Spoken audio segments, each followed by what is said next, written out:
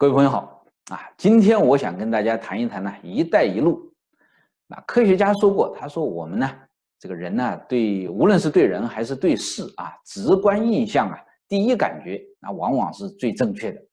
那大家初次听见这个“一带一路”这个词的时候是什么感觉呢？我的感觉就是啊，不靠谱。啊我相信大家跟我的感觉差不多。那今天呢，我就来详细的啊谈一谈。探讨一下，分析一下为什么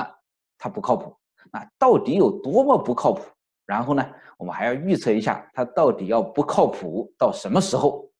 前几天呢，英国的女首相特蕾莎梅访问中国啊，习近平对她有一个最大的期待，就是想让她呀，在这个支持“一带一路”的这个谅解合作备忘录上面呢签个字。结果呢，这个梅啊，梅首相婉转地拒绝了他的这个请求。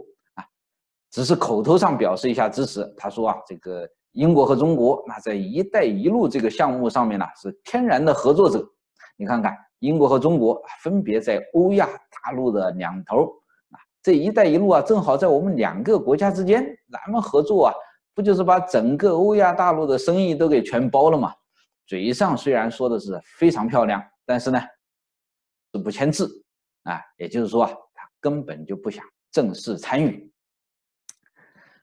那习近平被人拒绝啊，这也不是第一次了啊。在梅姨之前呢，嗯，这个法国那个帅哥总统马克龙也访问了中国，他也没有签字支持这个“一带一路”。而且呢，他这个做戏啊，比梅呀还要厉害。他虽虽然不签字啊，但是表现的呢，好像又是非常支持这个“一带一路”。他访问中国的时候啊，第一站不是北京，也不是上海。而是啊，选择了一个啊，在政治上不重要、经济上啊也不发达的一个西安。为什么呢？因为啊，西安呢是古代丝绸之路的起点，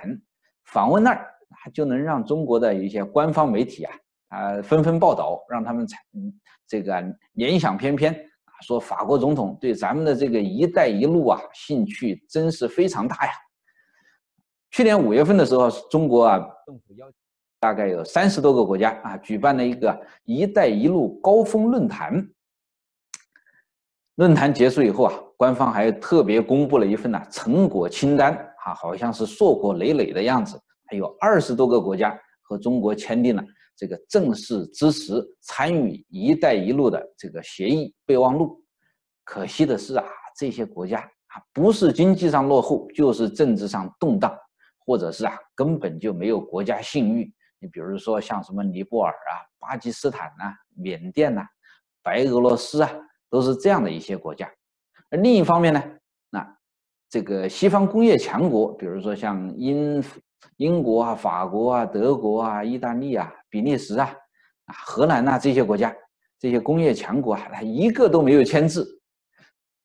这个打个比方呢，这就好像是啊，一个土豪要招商引资，要搞一个天大的投资项目啊。取名字叫宇宙，结果呢，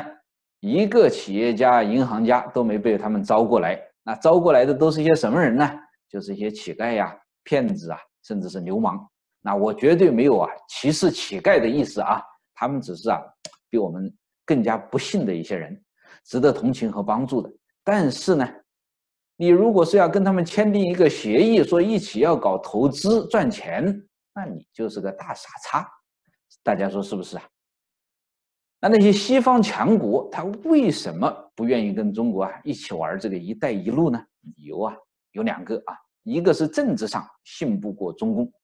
啊，虽然现在冷战呢已经结束了，大概有二十多年了啊，但是呢，你中共当年呢是搞过这个输出革命的，西方人想起来呀，现在想起来呀还是会后怕的。你像过去啊，邓小平呢就比较聪明，他搞这个韬光养晦的外交战略。啊，你让中共啊在西方一定程度的这个接纳认可，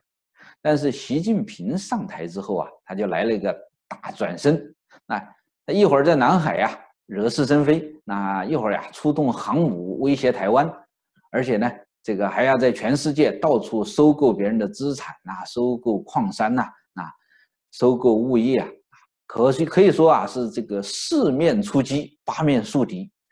你让那些老外呀，怎么能够不对你啊多留几个心眼啊？啊，而且呢，他们就是怕你搞这个“一带一路”，借着这个机会啊，掌控其他国家的那些政局，然后输出你这个专制主义的意识形态呀，甚至是支持啊那个国家恐怖主义。比如说，你要是在中东那个地方搞成了啊，掌握了几个国家，你把他们变成了北韩，那这个全世界啊，不就是要天下大乱了吗？另外一个理由呢是经济上的理由，西方呢，它这个政府啊，它是不投资的，它都是一些企业去投资，企业投资就是要想赚钱的，那那些地方呢，它是赚钱的地方吗？当然不是了，赚钱你要找这个市场繁荣的啊。国家稳定的地方，政局稳定的地方，你去赚钱。但是在“一带一路”上面啊，那些中亚呀、中东啊、东南亚的那些国家，多数呢都是贫困和动荡的地方。你去那儿啊，搞搞援助啊，搞搞慈善，那还可以。那些西方人呢，他们每年都搞的。但是你要想啊，在那地方投资赚钱，那就打错主意了。那你如果是像啊这个中国一样，你倾举国之力啊，去那些地方。想搞发展，那就是更是大错特错啊！错的真是离谱，无边无际。这不是我的主观判断啊，官方人士，中国的官方人士啊，有时候也不小心呢啊，说出一点真实的情况。你比如说去年啊，中国的那个经济贸易会的副会长啊，叫姓王的啊，他就说啊，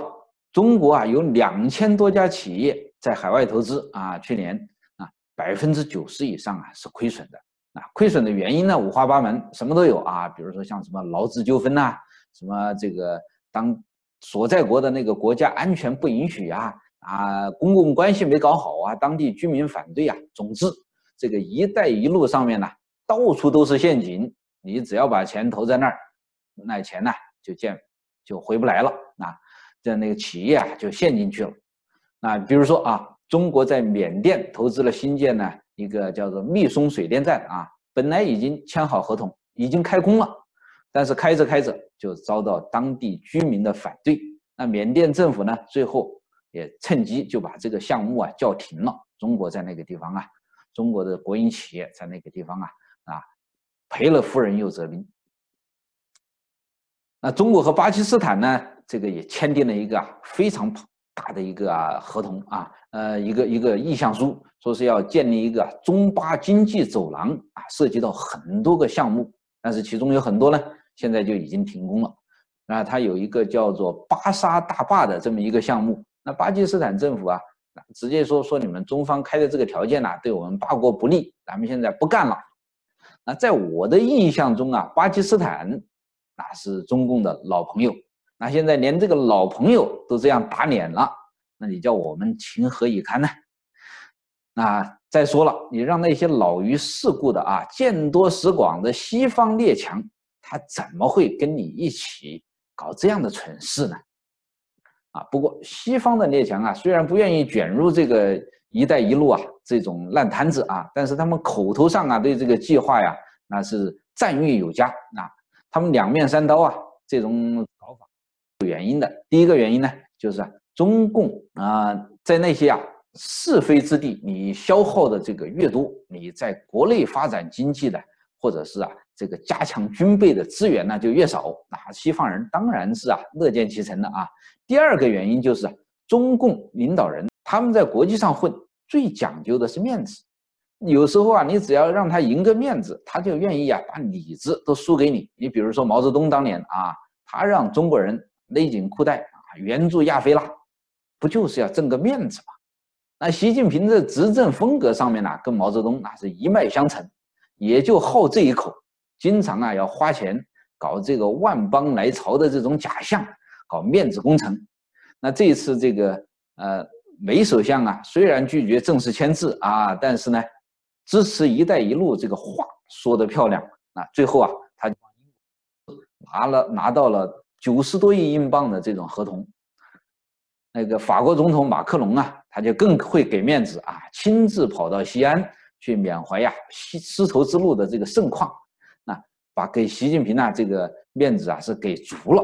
所以呢，习近平就让他呀这个给这个空中客车这个法国这个大公司啊飞机公司一下子订了一百八十亿欧元的这个合同。那这些欧洲老牌帝国主义国家啊，他们这个政客啊，搞外交真是有一套啊，一个一个啊都跟人精一样的。对他们来说啊，这个习主席啊，他他们看着就像是透明人一样啊，在他们眼里，这个习大大呀就是个愣头青、傻大个儿啊，就因为愣呢，所以说大家要找一些事情让他消耗掉他的这个精力啊、力气，免得他呀，呃，这个惹是生非。但是呢，他又傻，因为傻的大家都可以糊弄他，就会可以从他的钱包里面拿钱。从个人这个层面来讲，那我看见这些西方政客啊，把这个习近平呐在玩弄于股掌之上，有时候啊对他真是还有点同情。但是从公共事务层面来讲，因为他这个愚蠢呐，他的厚大喜功啊，那中国老百姓几十年汗流浃背啊。积攒起来的那么一点点家底啊，本来是应当用于改善民生的，现在呢就被他浪费在国外，浪费在这些外国人身上。一想起这个啊，就恨不得把他那个肥头大耳啊摁进马桶冲一冲，让他清醒清醒。那现在呢，由于这个西方这发达国家基本上都不参与，有钱人呢都不跟你一起玩，那一带一路啊很难继续下去。习近平当年提出这个一路的设想啊，就是因为他觉得中国外汇储备多嘛，有实力啊，所以一拍脑袋就匆匆宣布了这个计划，就匆匆上马了这个计划。那这两年呢，中共这个外汇储备急剧减少，那外汇流出啊都受到严格限制了。你看，每个公民每年只能呢，呃，用五万块钱美金啊。那还有一些企业呢，要想出国办搞生意也不容易了。现在全面的监控这个外汇啊外流，那你那怎么还有可能呢？维持这个计划呢？啊，实际上前两年这个趋势啊已经开始了。比如说二零一六年啊，中国这个商务部的他们发的这个呃资料里面呢，他说“一带一路”这个向“一带一路”国家的这个投资啊已经减少了，比一五年减少百分之二了。那一七年呢，那就更大幅度的降低了啊，比一六年减少了百分之二十。那剩下的这啊，也就是中共啊，现在这个政权呢，没办法，骑虎难下。为了维护习近平的这个面子啊，现在打肿脸也要充胖子。现在美国已经这个大幅降低了企业税啊，美国现在美元纷纷呢这个回流美国，再加上啊，川普他要发动贸易战，要跟中国啊这个要平衡跟中国的这个贸易逆差。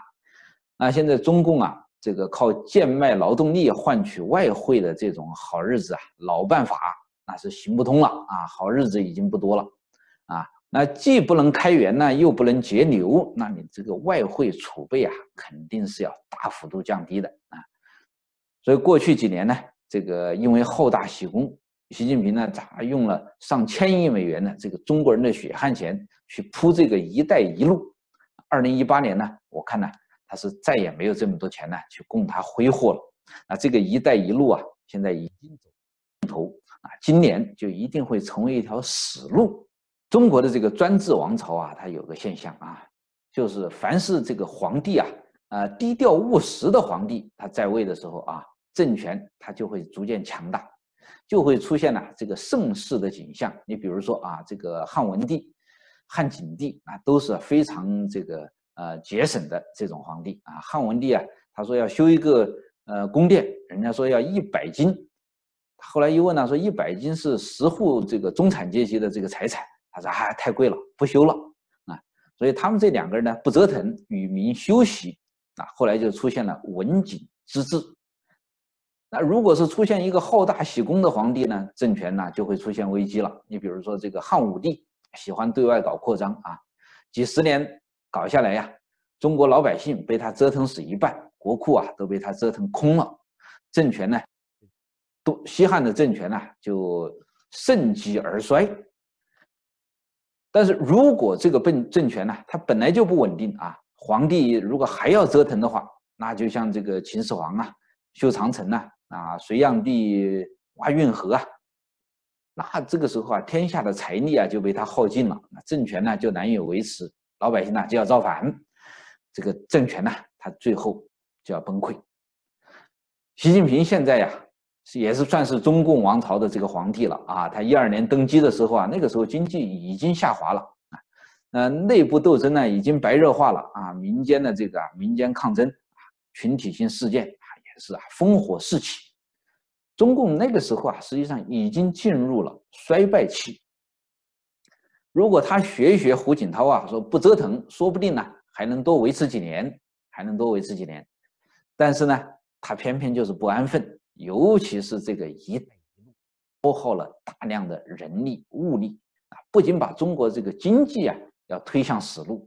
最终啊也会把这个政权推向死路啊。我们呢，二零一八年我们就拭目以待啊。谢谢大家，再见。